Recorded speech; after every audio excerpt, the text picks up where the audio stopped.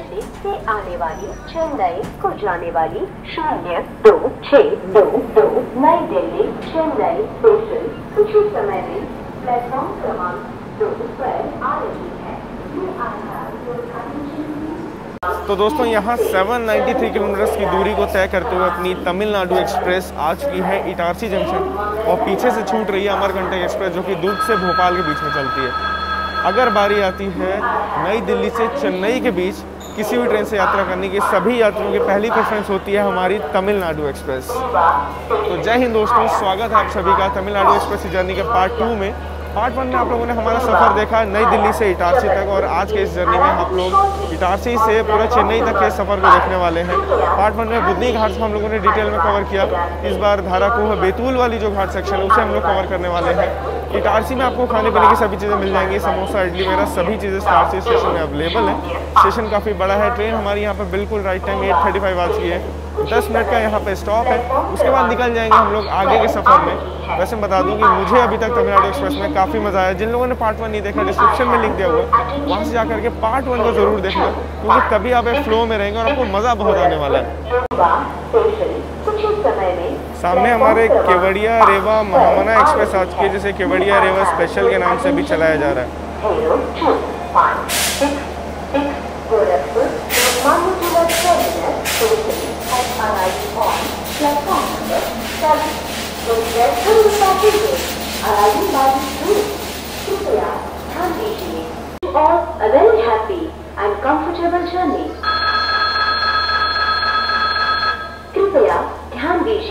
नई दिल्ली से आने वाली, चेन्नई को जाने वाली शून्य दो छः दो दो नई दिल्ली, चेन्नई स्टेशन कुछ ही समय में प्लेटफॉर्म क्रमांक दो से चलने को तैयार है हम आपकी सफल, सुखद एवं मंगलमय यात्रा की कामना करते हैं May I have your attention, please? Zero one one zero five. तो यहाँ पे आप देखिए टारसी में कितनी वैरायटी अवेलेबल है खाने पीने की, इडली, डोसा, आपको बड़ा ब्रेड पकौड़ा, सभी चीज़ें मिल जाएँगी। मतलब कोई दिक्कत होने वाली है नहीं आपको। और इटारसी से एक रूट जबलपुर की ओर भी गया हुआ है, जो कि आगे जाकर के प्रयागराज, रेवा, सतनी, कटनी, इन सभी रूट्स के लिए निकल जाता है। और एक रूट है जो कि साउथ बाउंड है, पूरा मतलब चेन्नई, बेंगलोर, तमिलनाडु, अगर इन सभी जगहों के लिए आपको जाना है तो वो रूट बेस्ट रहेगा।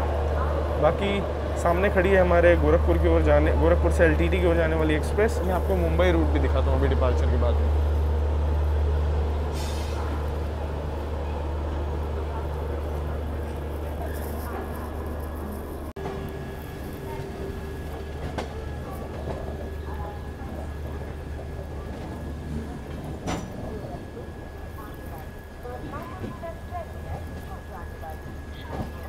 भाई लोग, ये जो रूट है, ये निकल जाता है अब आगे जाकर के खंडवा भुसावल लाइन की ओर और हम लोग बढ़ चुके हैं साउथ बाउंड लाइन की ओर अब। वाराणसी के बाद तमिलनाडु एक्सप्रेस का कोई स्टॉप नहीं है, सीधा नागपुर रुकती है दोपहर में। तो बीच में जो अमला बेतुल स्किप सब होगा, वो आप लोग को दिखाता हूँ प्लस घाट सेक्शन दिखाता हूँ। अभी तो स्लो चल रही है, चलिए अंदर चलते हैं। तो दोस्तों, यहाँ पे धारकोह रेलवे स्टेशन आ चुका है और यहीं से एक खूबसूरत रूट की शुरुआत होती है और सामने आपको बहुत सारे कर्व्स और नेचर की जो सुंदरता है, काफ़ी करीब से एक्सपीरियंस करने को मिलेगी इस रूट में।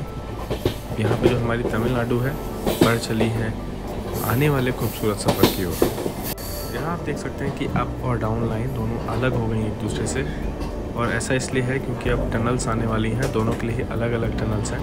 यहाँ पे जो पहली टनल है, वो आ चुकी है, और काफ़ी धीरे ट्रेन पार हो रही है क्योंकि ये टनल में जो है कुछ काम चल रहा था। जिसके कारण ट्रेन ने काफ़ी धीरे पार किया और सबसे अच्छी बात यह कि आप लोग भी एक्सपीरियंस कर सकते हो। स्लो स्पीड में कि टनल कैसी दिखती है, कैसी होती है। और यहाँ से ट्रेन कितने शांति से धीरे धीरे पार कर रही है। अंदर लाइट्स लगी हुई हैं।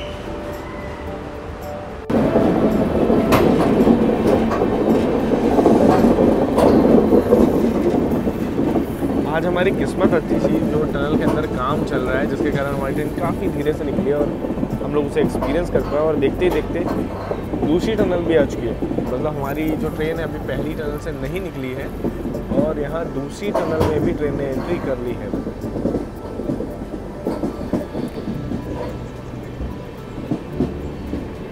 ये जो घाट सेक्शन है धाराकोहा से शुरू होता है और आपको ये काफ़ी दूर तक देखने को मिलेगा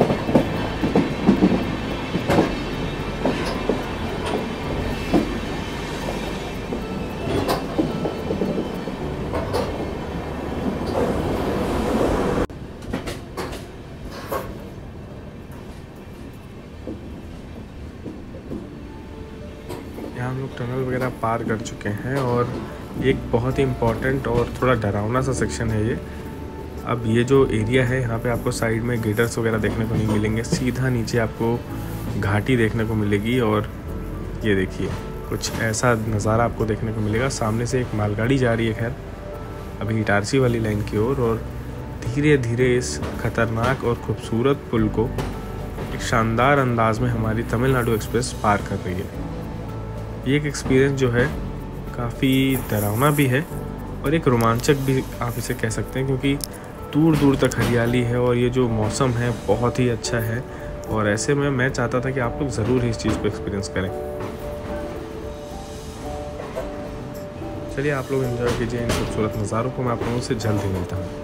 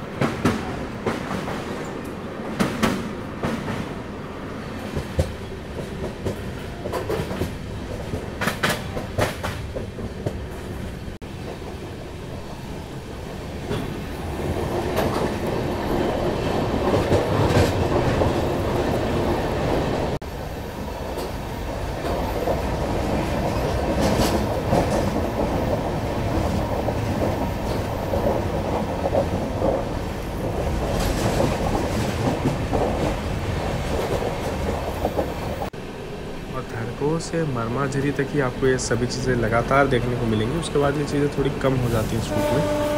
लेकिन यहाँ आपको बैंकर लोकोमोटिव ये जो देखने को मिल रहे हैं, कई ट्रेनों में इनकी आवश्यकता भी पड़ती है। और आप लोग कमेंट सेक्शन में लिख करके बताइएगा कि बैंकर लोकोमोटिव का क्या काम होता है, क्योंकि मैंने अपनी बहुत सारी जर्नीज़ में दिखाया भी है, समझाया भी है।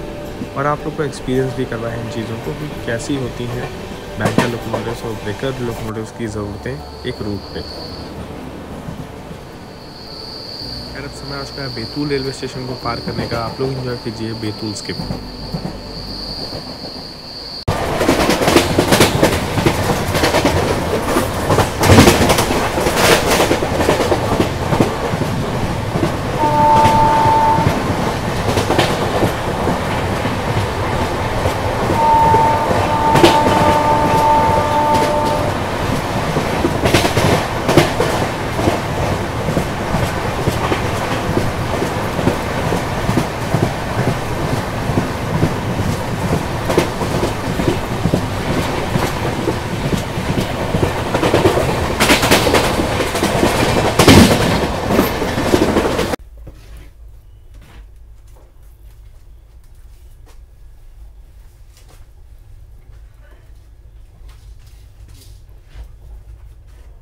तो दोस्तों, अभी तक तो अपना सफ़र तमिलनाडु एक्सप्रेस में काफ़ी बढ़िया चल रहा है। हमने बैतूल को भी अच्छी खासी रफ्तार में स्किप किया और अब थोड़ा स्लो हो गए लेकिन अब बारी है अमला जंक्शन को स्किप करने की। चलिए, अमला जंक्शन स्किप करते हैं। वहाँ से एक रूट छिंदवाड़ा की ओर चला जाता है, इसलिए अमला को जंक्शन कहते हैं, पर उम्मीद है वहाँ से भी ट्रेन का हाई स्पीड स्किप होगा। चलिए देखते हैं अमला स्किप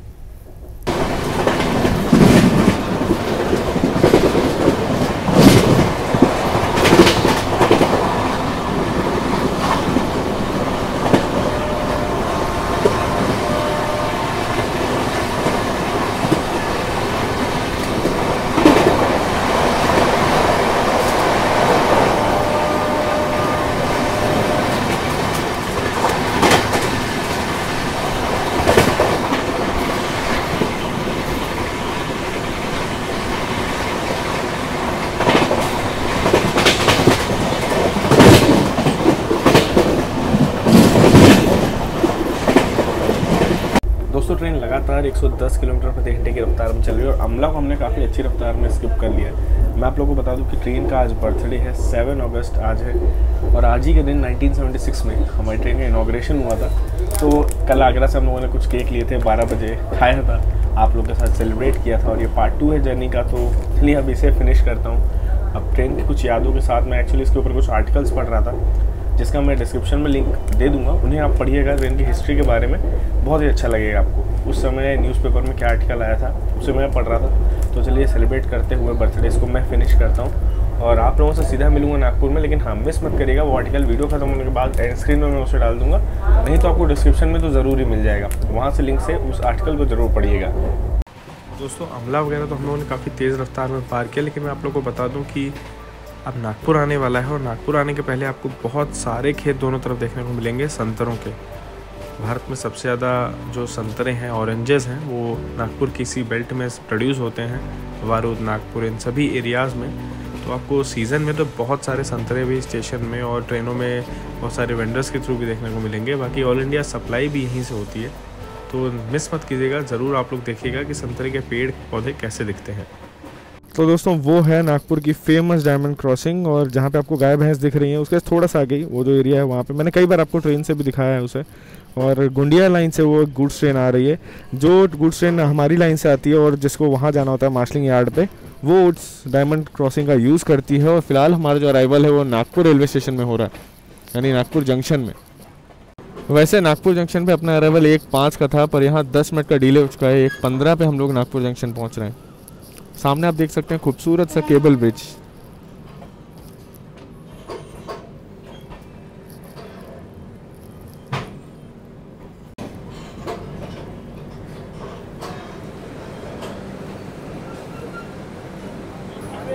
तो दोस्तों, यहाँ अपनी ट्रेन पहुँच चुकी है नागपुर जंक्शन और काफ़ी बड़ा स्टेशन है। प्लेटफॉर्म नंबर टू पर हमारा अराइवल हुआ। रूट्स की बात की जाए तो नागपुर से आपको तरह तरह के रूट्स मिल जाएँगे। मतलब सेंट्रल इंडिया में है, आपको हर जगह से यहाँ की गाड़ी मिलेंगी। चेन्नई, बेंगलोर, त्रिवेंद्रम, हावड़ा, प्रयागराज, सभी रूट्स में आप जा सकते हैं। साथ साथ कई ट्रेनों का स्टॉप सेवाग्राम नहीं है। तो यहाँ से आपको पूरी अहमदाबाद, मुंबई के लिए, भुसावल के लिए, हर रूट्स के लिए गाड़ियाँ यहाँ से मिल जाएँगी। रूट जो है भुसावल, मुंबई वाला, वो अलग होता है सेवाग्राम जंक्शन से, लेकिन बहुत सारी ट्रेनें नॉन स्टॉप होती हैं उस रूट पे।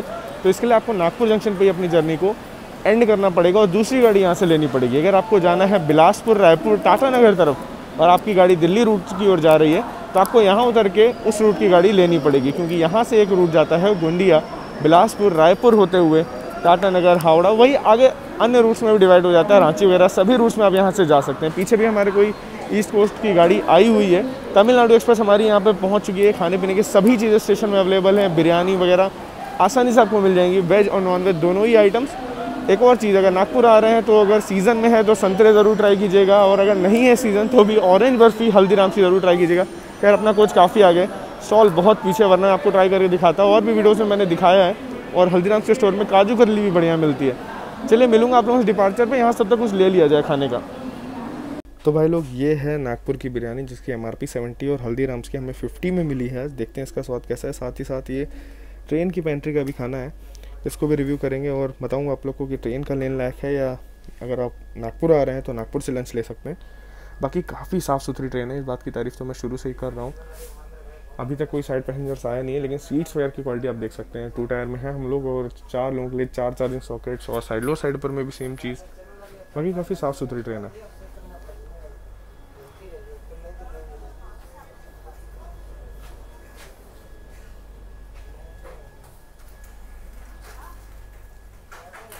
तो दोस्तों, नागपुर से निकलते निकलते ऑरेंज बर्फ़ी भी अपने को मिल गई है। लकीली अब इसका भी टेस्ट करेंगे, लेकिन फ़िलहाल आप लोग एंजॉय कीजिए नागपुर से डिपार्चर हमने जो ईस्ट कोस्ट की गाड़ी आई थी, वो है लोकमान्य तिलक भुवनेश्वर एक्सप्रेस और यहाँ बारिश शुरू हो चुकी है हमारे नागपुर से निकलते निकलते। जो केबल ब्रिज है, वो काफ़ी खूबसूरत लगता है। और यहाँ हमारी ट्रेन को ज़्यादा देर नहीं रोका गया, मात्र पाँच मिनट में ट्रेन को निकाल भी दिया गया। तो आपके पास सफिशियंट टाइम होगा। पर थोड़ा क्विकली रिएक्ट कीजिएगा खाना पीना कलेक्ट करने के लिए।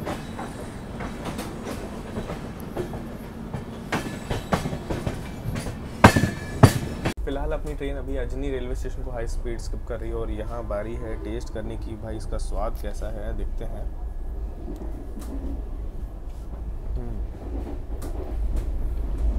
साथ में तरी भी दी गई है। आप लोग सलन बोलते होंगे।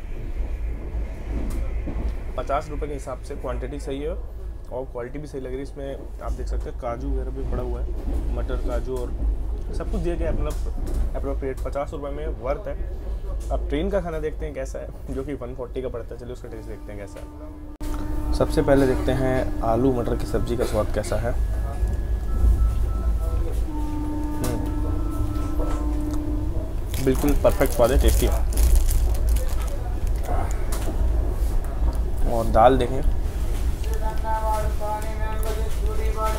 दाल भी बढ़िया मतलब कोई कमी दिख नहीं रही दाल में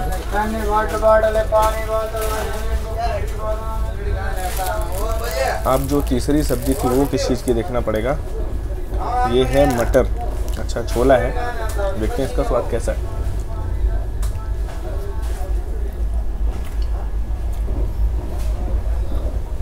एकदम विदर्भा स्टाइल खाना है। काला मसाला पड़ा हुआ और टेस्ट काफ़ी अच्छा लग रहा है। मतलब मेरे को दोनों ही खाने काफ़ी अच्छे लगे तो अगर आप लोग ट्रैवल करो तो ट्रेन का भी प्रेफर कर सकते हो स्टेशन का भी कर सकते हो। भूख के हिसाब से जब आपको टाइम लगे, जब भूख लगे, बिल्कुल रिकमेंडेड है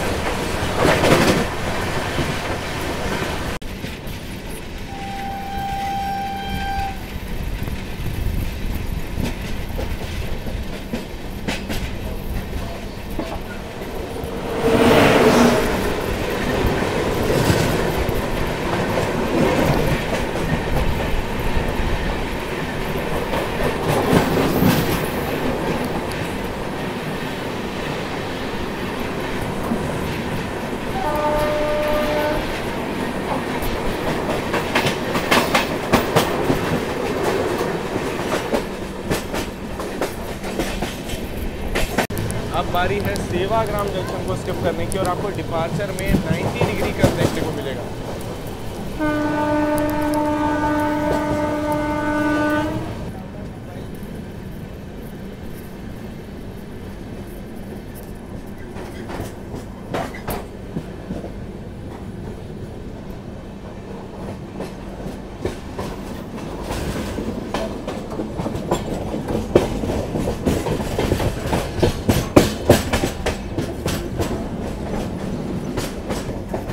सेवाग्राम से स्ट्रेट रूट चला जाता है मुंबई लाइन की ओर, जो कि भुसावल जलगांव की ओर जाती है। जलगांव से लाइन अहमदाबाद सूरत की अलग हो जाती है और स्ट्रेट लाइन जाती है मनमाड नासिक होते हुए मुंबई।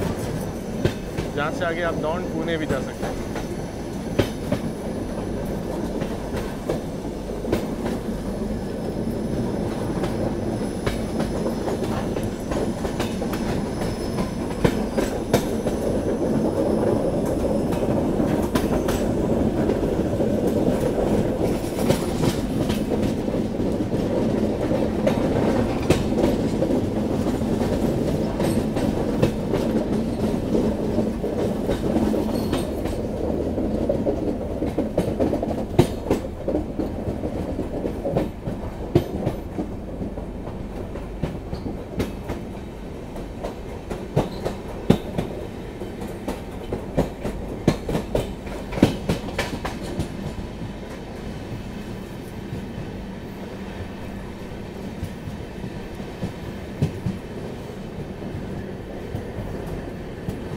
गाइज़ लंच हो गया है, अब बारी है ऑरेंज बर्फ़ी ट्राई करने की।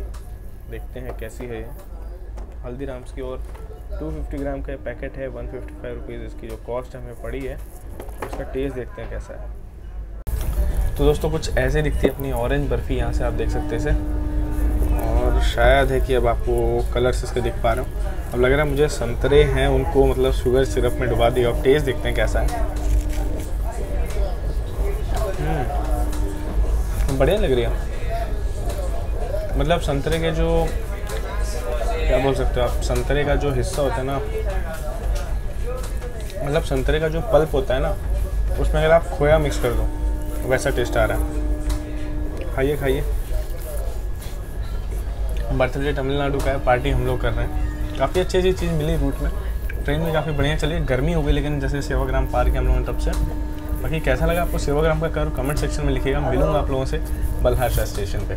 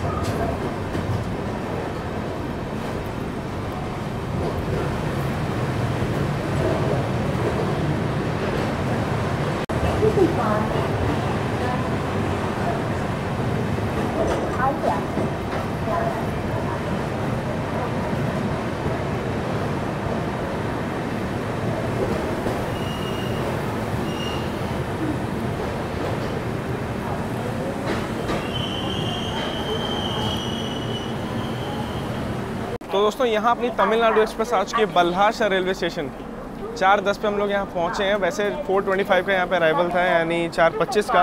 और पाँच मिनट का हॉल्ट था। अब यहाँ काफ़ी देर रुकेगी हमारी train Tadoba wild life sanctuary के बारे में आप लोगों ने सुना होगा। वो यहाँ से काफ़ी करीब है। अगर आपको उसे विज़िट करना है तो आपको बल्हाशा उतरना पड़ेगा। ये सेंट्रल रेलवेज़ का लास्ट बड़ा स्टेशन है। साथ में इसे 1929 में ओपन किया गया था। 1989 में नागपुर तक यहाँ से इलेक्ट्रिफिकेशन का काम पूरा हुआ, उसके बाद से यहाँ से इलेक्ट्रिक ट्रेन चलना शुरू हुई। बल्हाशा की जो इम्पोर्टेंस है, वो इस रूट में काफ़ी ज़्यादा इसलिए है क्योंकि यहीं पे ट्रेनों की मेंटेनेंस वगैरह होती है, धूप काफ़ी तेज़ है।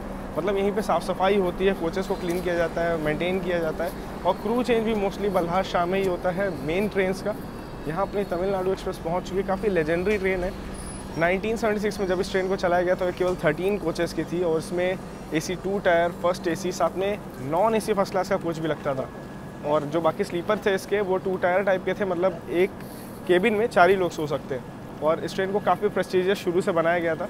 इसमें twin W D M two locomotive लगते थे शुरुआती दिनों में। बाकी ओवरऑल काफ़ी अच्छे से मेंटेन किया गया। समय के साथ अब बदलते बदलते ऐसी है, लेकिन एल है, अब कंफर्टेबल ट्रेन हो चुकी है। जब यहाँ चलेगी, बाकी की बातें आप लोगों से तब होंगी। बल्हार शाह एकमात्र ऐसा स्टेशन है, मुझे लगता है, जहाँ पे ऐसे जंगली जानवर बनाए गए हैं रेलवे स्टेशन में। अगर आप लोगों ने भी किसी और स्टेशन को देखा है तो बताइएगा ज़रूर। और अपनी ट्रेन यहाँ बल्हार शाह पहुँच चुकी है।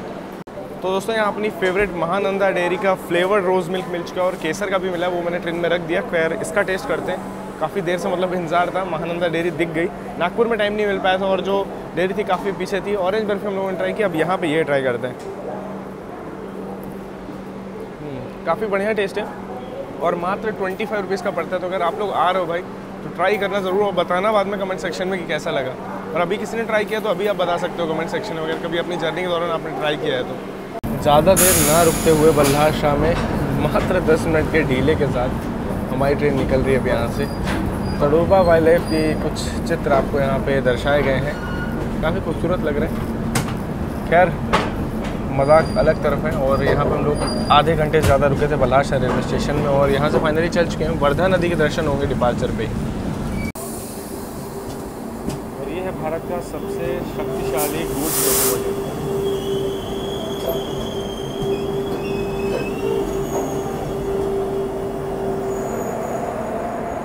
Alstom W A twelve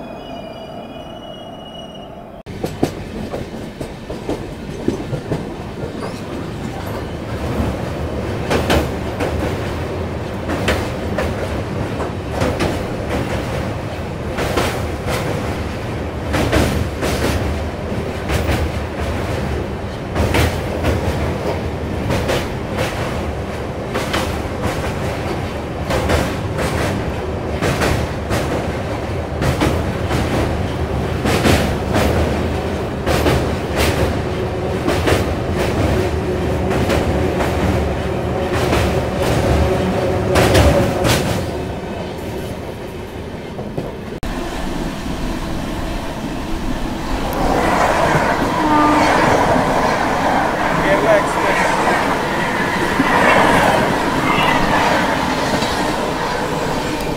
elevated crossing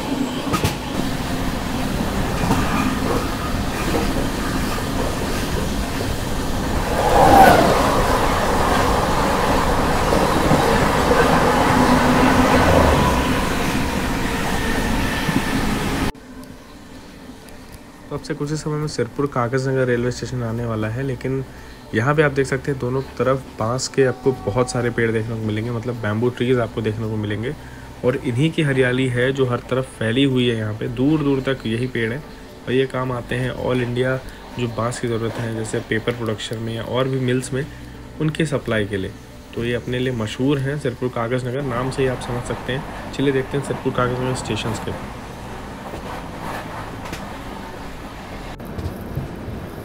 यहाँ अपनी train Sirpur Kagaznagar railway station को स्किप करिए, क्योंकि भाई अपना यहाँ पे कोई स्टॉप है नहीं। और यहाँ पे काफ़ी फैक्ट्रीज़ हैं शुगर की भी हैं और पेपर इंडस्ट्रीज़ की भी है।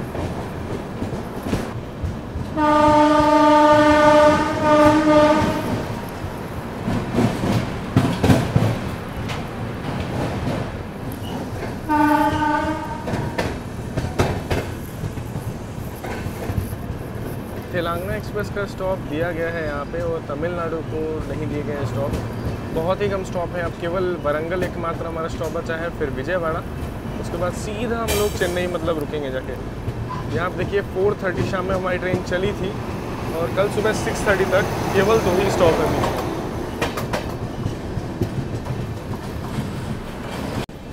तो दोस्तों, अभी सनसेट बहुत ही खूबसूरत हो रहा है और मैं आप लोगों को बता दूँ, हम लोग गोदावरी नदी को पार करने वाले हैं। मंचेरियल जस्ट अभी हम लोगों ने पार किया है। आप लोग एंजॉय कीजिए। इवनिंग शॉट को मैं आप लोगों से जल्दी मिलता हूँ।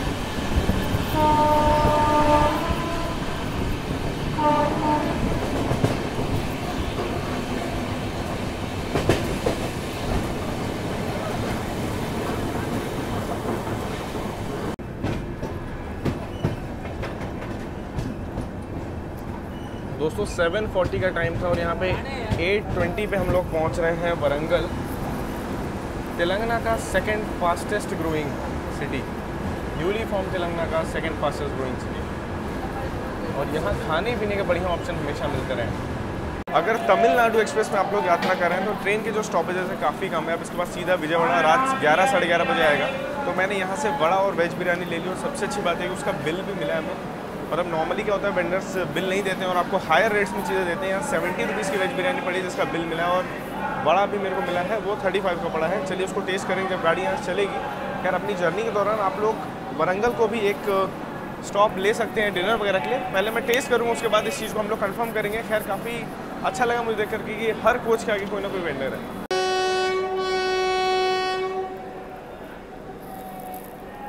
बस यहाँ से दो मिनट के हॉल्ट के बाद हमारा डिपार्चर भी हो चुका है अब।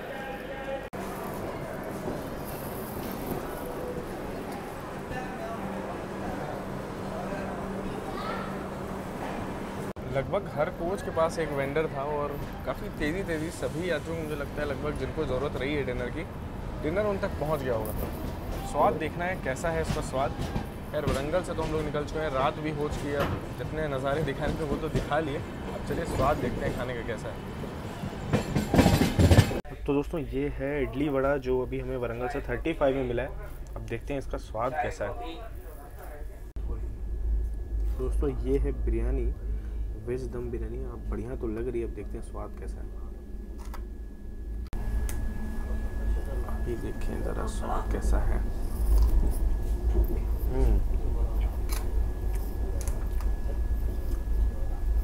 सीरियसली यार राइस राइस में तो मज़ा आ गया। टेस्ट काफ़ी अच्छा लगा।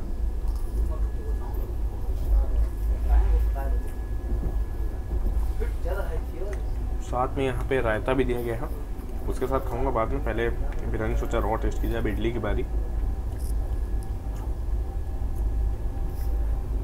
जिन लोग को रसम पसंद है, टोमेटो वाला, वैसा ही बिल्कुल सांभर है, चटपटा सा मुझे काफ़ी पसंद है तो मुझे अच्छा लग रहा है। बिल्कुल रिकमेंडेड है भाई, वरंगल से आप लोग डिनर ले सकते हो।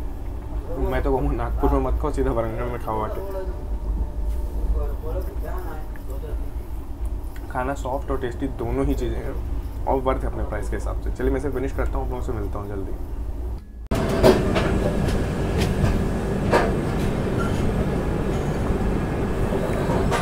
तो दोस्तों, यहाँ पे टोटल 1751 किलोमीटर की दूरी को लगभग 26 आवर्स में तय करते हुए हम लोग ग्यारह बज के दस मिनट पर आ चुके हैं विजयवाड़ा।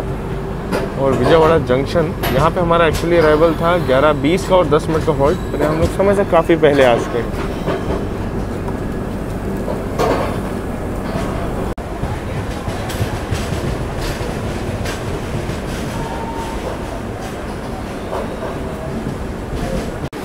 तो दोस्तों, यहाँ हम लोग आ चुके हैं विजयवाड़ा जंक्शन, जो कि बहुत बड़ा जंक्शन है। 11 प्लेटफॉर्म का स्टेशन है और ये भारत का फोर्थ बिगेस्ट रेलवे स्टेशन है।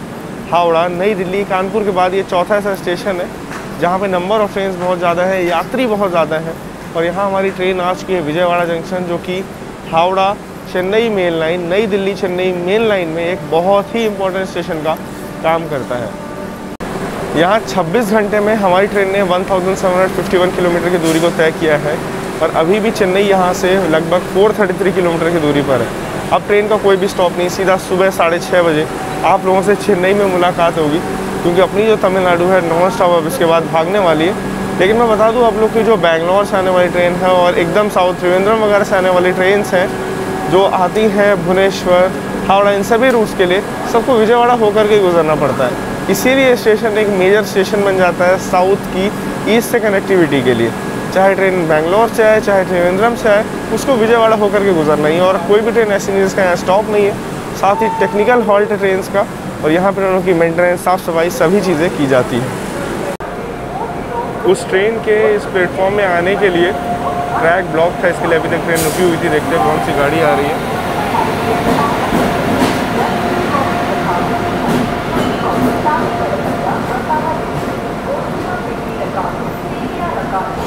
तिरुपति सिकंदराबाद एक्सप्रेस। के कारण ट्रैक ब्लॉक था इसलिए अपनी ट्रेन रुकी हुई थी और अब हम लोग यहाँ से चलने को तैयार हैं।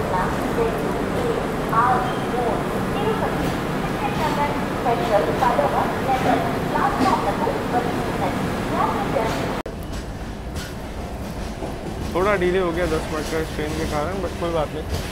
तमिलनाडु का वैसे भी कोई स्टॉप नहीं है बीच में। हम लोग नेल्लोर गुडोरे जो भी स्टेशन से बीच में आने वाले सभी स्किप करने वाले हैं।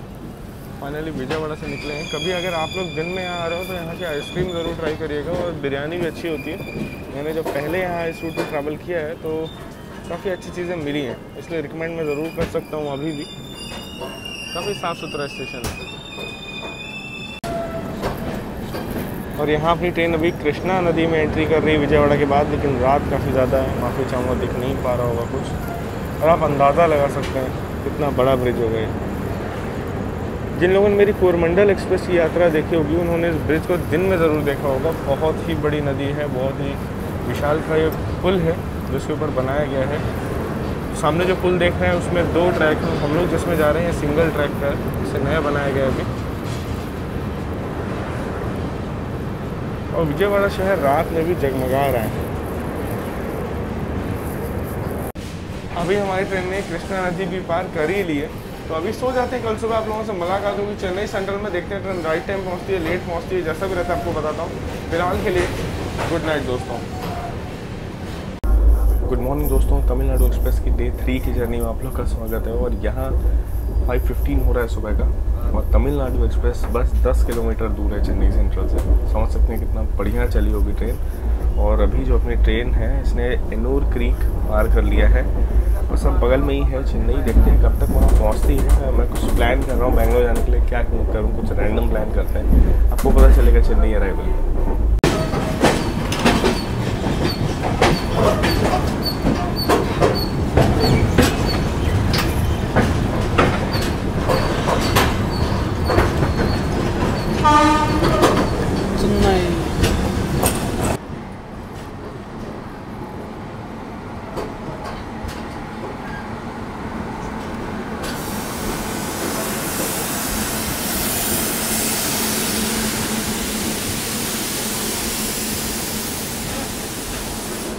यहाँ निर्धारित समय से काफ़ी पहले अपनी तमिलनाडु एक्सप्रेस आ चुकी है चेन्नई सेंट्रल 6:30 का टाइम हम लोग 550 पहुँच गए और पीछे खड़ी है अपने मैसूर शताब्दी। मैं इसे भी पकड़ सकता था, लेकिन मैंने सोचा चार पाँच घंटे के लिए शताब्दी लूँ और सबसे मेन चीज़, उसमें खाना पीना मिल नहीं रहा है, कोई स्पेशल सर्विसेज़ है नहीं। तो हम दूसरी ट्रेन लेंगे, हम डबल डेकर एक्सप्रेस से आज अपनी बैंगलोर तक की जर्नी को, जो बची कुची है, वो पूरा करेंगे। बाकी आपको कैसा लगा मेरे साथ तमिलनाडु एक्सप्रेस में कमेंट सेक्शन में ज़रूर लिखिएगा। मेरी तरफ़ से रेटिंग पूछे तो हर चीज़ में टेन ऑन टेन है, साफ़ सफ़ाई तो शुरू से ही आप देख रहे हैं। बीच बीच में दिन में चार बार ट्रेन साफ़ हुई है। पंक्चुअलिटी ट्रेन की देखिए बिफोर आई है। खाना पीना तो खैर किसी गाड़ी में नहीं मिल रहा है। बाकी और क्या चाहिए? स्टॉपेजेस बहुत कम है। देखिए, विजयवाड़ा से चेन्नई लगभग साढ़े चार सौ तीस किलोमीटर नॉन स्टॉप चल के आई है और यहाँ मैसूर शताब्दी भी निकल चुकी है हमारे बात करते करते बाकी ओवरऑल एक्सपीरियंस मेरा काफ़ी अच्छा था। आपका कैसा था, बताइए ज़रूर। और मिलेंगे ऐसे ही और बहुत सारी जर्नीज़ में ट्रेन रिव्यूज़ में। आप लोग मुझे इंस्टाग्राम में फॉलो कर सकते हैं। इंस्टा द ट्रेन गुरु वहाँ भी इसके अपडेट्स वगैरह देता रहता हूँ। अपना ख्याल रखिएगा। ऐसे ही मेरे साथ ऑल इंडिया ट्रैवल करते रहिए। डबल डेकर की जर्नी हम लोग का इंतज़ार कर रही है। अगली वो ट्रेन है, उसे पकड़ता हूँ, फिर आप लोगों से मिलता हूँ। वैसे चेन्नई टर्मिनल प्लेटफॉर्म में आप यहाँ पे देख सकते हो, बफर लगा हुआ है। अगर हम उतरते तमिलनाडु से तो बस तुरंत हम लोग मैसूर शताब्दी में चढ़ सकते थे। चलिए, ख्याल रखिएगा। तब तक के लिए जय हिंद दोस्तों। मेरी ट्रैवलिंग अपडेट्स के लिए और मुझसे करीब से जुड़ने के लिए इंस्टाग्राम में मुझे फॉलो करना बिल्कुल ना भूलें। अगर आप चैनल पर नए हैं तो सब्सक्राइब करिए, ताकि आपको ऐसे ही और बहुत सारे वीडियोस मिलते रहें। Thanks for watching.